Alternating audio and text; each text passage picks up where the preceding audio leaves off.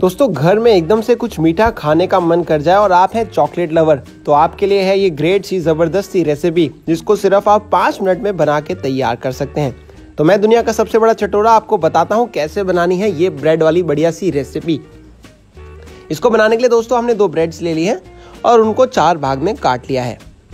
आप ऐसे ही नाइफ की मदद से इसको चार टुकड़ों में काट लें।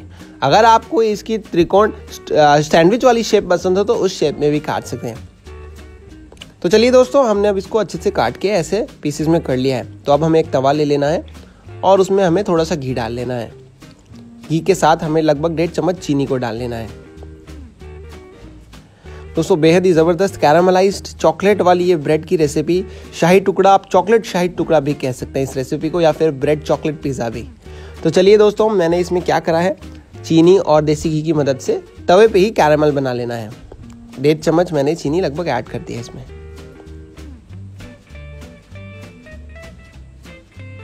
इसको लगभग एक से दो मिनट लगेंगे और अच्छे से मेल्ट होके कैरामल बन जाएगा तवे पे ही दोस्तों। तो चलिए दोस्तों, लगभग दो मिनट हो गए हैं और इसका कैरामल बनना तैयार हो चुका है तो लगभग और एक मिनट में ये पूरी तरीके से मेल्ट हो जाएगा तवे पे। तवे की आँच ज़्यादा तेज़ नहीं रखिए, लेकिन ध्यान रखें, गरम जो ये चीनी की चाशनी होती है, कैरामल होती है, बेहद हॉट होता है तो इस पर उंगली ज़रा भी ना लगाए, नहीं तो आपका हाथ जल सकता है। तो ये हमारा कैरेमल एकदम बन के तैयार हो चुका है। इसको एक साइड पे हमने तवे पे कर लिया है कॉर्नर में। क्यों किया है वो भी आप देख लेंगे। अच्छे से मेल्ट होकर कैरेमल तैयार है। तो अब हमने जो आठ ब्रेड के टुकड़े करे थे दो ब्रेड से उसको ले लेके कैरेमल लगा के पूरा सा साइड कर लिया है। फिर दूसरी ब्रेड पे कैरामल लगा के साइड कर लिया है। ऐसे हम अपनी आठ की आठ पीसीस को अच्छे से कैरामल लगा के साइड कर लेंगे। कैरेमल को अच्छे से यूज़ कर लेंगे। और टच करा करा के सबसे अच्छे से कैरामलाइज ब्रेड कर दिया है हमने। लगभग इसको पकने में एक मिनट लगेगा। जिसके बाद आप चेक कर सकते हैं कि कहीं से कुछ रह तो नहीं गया है। कैरामलाइज हो चुकी है या कहीं से थोड़ी सी रह गई है। ये बेहद ज़बरदस्त चॉकलेटी शाही टुकड़ा बनके तैयार है दोस्तों। उंगली ना लगाएँ, मैं फिर से वार्निंग दे रहा हूँ, बहुत ज़्यादा गर्म होती है ये चीनी तवे पे। तो देखिए दोस्तों, बहुत अच्छे से। ये हमें ब्रेड दिखी इस पर थोड़ा सा कम कैरामल है। तो इसको अब देख लेंगे, कहीं है अगर थोड़ा पड़ा तो उसको और यूज़ कर लेंगे। तो दूसरी साइड पड़ा था, हमने उसको यूज़ कर लिया। हम सारी चेक कर रहे हैं, बढ़िया से अच्छे से एकदम कैरामल सब पे लगा हुआ है। इस पर भी थोड़ा सा रह गया तो इस पर भी हमने लगा दिया तो चलिए, एक तरफ़ से पूरी सी कैरमलाइज हो चुकी है और पक चुकी है। समय आ गया है इनकी साइड्स बदलने का। बेहद ही ज़्यादा आसान है दोस्तों इसको बनाना। और ऐसी हम ढेर सारी आसान आसान रेसिपीज़ अपलोड करते रहते हैं हमारे यूट्यूब चैनल पे, जिसका लिंक हम इसे डिस्क्रिप्शन में डाल रहे हैं फेसबुक वीडियो के, अगर आप फेसबुक पे देख रहे हैं तो ज़रूर उस लिंक को चेकआउट कीजिएगा। तो चलिए दोस्तों, अब साइड्स पलटने का टाइम आ चुका है तो हम पीछे वाली साइड से भी एक मिनट रोस्ट कर लेते हैं और गैस को अब बंद कर देते हैं। पीछे अपने आप रोस्ट होती रहेगी। इसी दौरान जब तक ये रोस्ट होती रहेगी, हमने शुरू में चॉकलेट दिखाई थी आपको चॉकलेट की मदद से हमने बताया था ये शाही टुकड़ा बना रहे हैं। तो हमने चॉकलेट की जो स्क्वायर पीसीज हैं, उन सबको निकाल लेना है और एक एक इसके ऊपर रख देना है। लेकिन उससे पहले हम इस पर लगाएँगे घर पे ही पड़ी हुई मलाई। मलाई नहीं हो तो विप क्रीम भी लगा सकते हैं और दोनों ही ना हो तो हल्का सा दूध लगा सकते हैं और तीनों ही ना हो तो कोई बात नहीं, सीधा चॉकलेट लगा दें।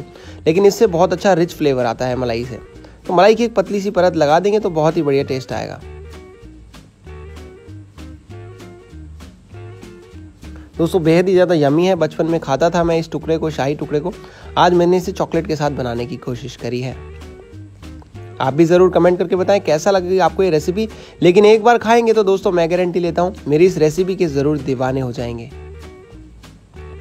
तो चलिए दोस्तों, मलाई की एक परत इस पर अच्छे से लगा दी है। समय आ गया है, जो चॉकलेट हमने शुरू में आपको दिखाई थी, उसकी एक एक पीस इसके ऊपर रख दी जाए।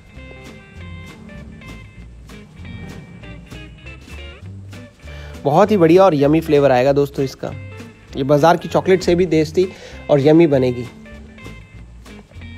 चॉकलेट की ब्रिक जो हमने शुरू में दिखाई थी, आपको एक चॉकलेट टी है मार्केट में। वो हमने एक एक पीस इसके ऊपर रख दिया और ये गर्म होने की वजह से अच्छे से मेल्ट भी हो जाएगा। जब आप मुँह में डालेंगे तो बहुत ही घुला घुला सा थिकियर सा आपको बढ़िया सा फ्लेवर आएगा। तो चलिए दोस्तों, हमने लगा लिया है इनको सारे पीसेस पे। हल्का सा इसको मेल्ट होने देते हैं तवे पे ही। ज़्यादा नहीं, बस इसको हल्का सा मुलायम ही करना है। क्योंकि हम अगर इसको पूरा मेल्ट कर देंगे ऊपर से सिरप डालने का कोई फ़ायदा ही नहीं जो हम एंड में डालने वाले हैं। अगर हम एंड में सिरप को स्किप कर रहे हैं तो हम इसको पूरा भी मेल्ट कर सकते थे तवे पर तो चलिए, हम अब इसको तवे पर फटाफट से उतार लेते हैं और बढ़िया से परोस लेते हैं। इसके बाद दोस्तों, हमें कुछ नहीं करना है इसको थोड़ा सा गार्निश करना है। वो भी ऑप्शनल है, आप चाहें तो कर सकते हैं और चाहें तो वो गार्निशिंग इग्नोर भी कर सकते हैं। तो वीडियो दोस्तों पूरा देख लीजिए, कितने अच्छे से गार्निशिंग कर रहे हैं हम। और उसके बाद ज़रूर हमारा यूट्यूब चैनल जिसका लिंक हमने डिस्क्रिप्शन में फेसबुक वीडियो के डाला है तो चेकआउट करना मत भूलिएगा। चॉकलेट शाही टुकड़ा कह सकते हैं दोस्तों इसको।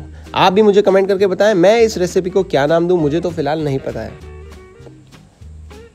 ये मैंने थोड़ा सा दोस्तों ड्राई फ्रूट आपके घर जो भी पड़ा हो, वो स्प्रिंकल कर सकते हैं। मेरे पास बादाम थे तो मैं इन पर बादाम अच्छे से डाल रहा हूँ। बादाम की वजह से भी काफ़ी ज़्यादा रिच और बढ़िया सा फ्लेवर आएगा इसका। और ऊपर से मैं यूज़ करूँगा दोस्तों हर्शीज़ का चॉकलेट सिरप और उसको अच्छे से इस पर स्प्रेड कर दूँगा। हमारा चॉकलेट शाही टुकड़ा या फिर चॉकलेट पिज़्ज़ा या फिर इसका क्या नाम होना चाहिए वो आप बताएँगे। वो हमारा बनकर एकदम से तैयार है।